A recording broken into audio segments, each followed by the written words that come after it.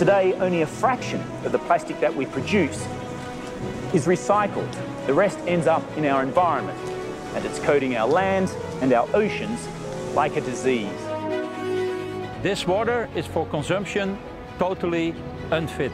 There's way too much uh, bacteria in, in the water. Captured this. Mm -hmm. She's water. carrying water which is heavily, heavily polluted. As you can see here, this is uh, someone's beach sandals just thrown here. There is no proper waste management in the city. So people view the river as one of the ways to take away the waste from their area. Five cents, five cents, ten cents. In the Volva, oh,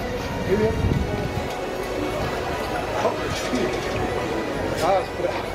Hi guys, rubbish is everywhere you look now, not only here in Zimbabwe, my home country, but all over the world. Greetings from New York, a city of 8 million people that produces twice as much garbage as anywhere else on Earth. If you can see behind me, there is a lot of rubbish that's burning.